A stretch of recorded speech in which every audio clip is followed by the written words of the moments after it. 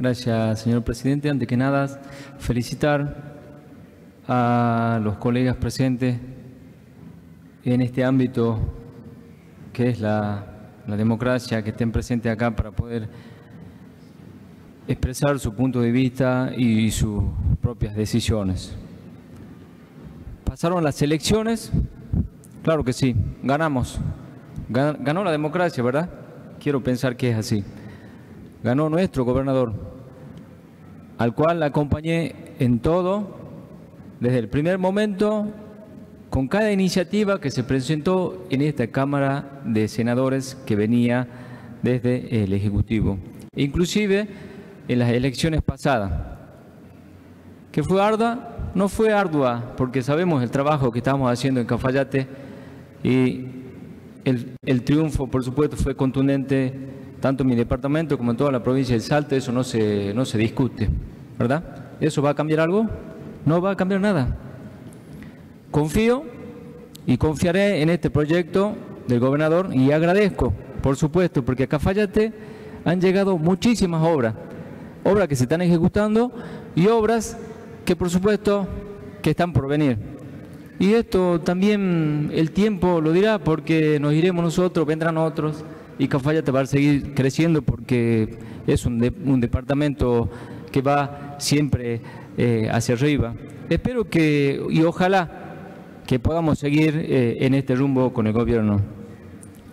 Y también tengo claro que estamos acá gracias a la gente, a los nuestros. Es por eso que considero que debemos estar al servicio de la comunidad, no que la comunidad esté a merced nuestra. Por eso que tengo esa premisa que mi partido es mi pueblo. Entiendo todo lo que está aconteciendo con el sector docente. ¿Por qué? Porque soy docente, les hablo en docente.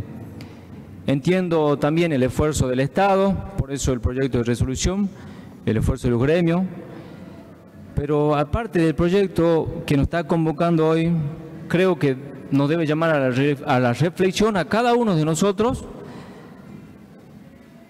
que este proyecto no lo debe- deberíamos de estar tratando, no se dieron las circunstancias, está fuera de contexto, consideramos que tenemos, considero que debemos llamar al diálogo, a la empatía y mostrar un poco de, de madurez política y personal.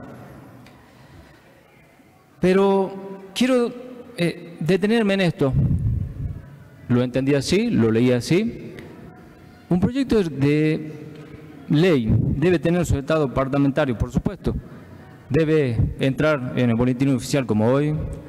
Debe ingresar a la comisión como corresponde para que tenga su tratamiento adecuado.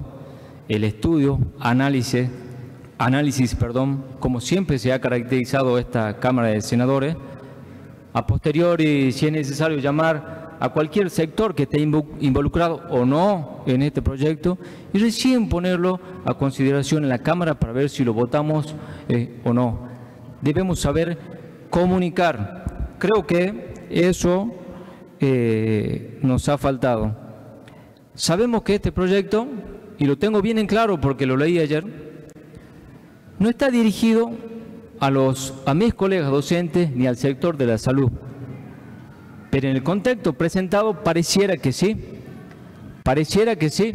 Nos hemos reunido el día de ayer y nos hemos puesto de acuerdo que este proyecto debía tener su análisis como corresponde. Confío y creo en la democracia, por eso es que estoy acá. Y en la libertad de los poderes, por supuesto.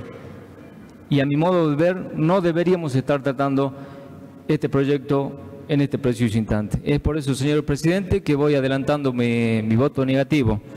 ¿Es contra alguien? Para nada. Es por mi conciencia, mi principio y mis valores. Gracias, señor presidente. Gracias, señor senador. Tiene la palabra.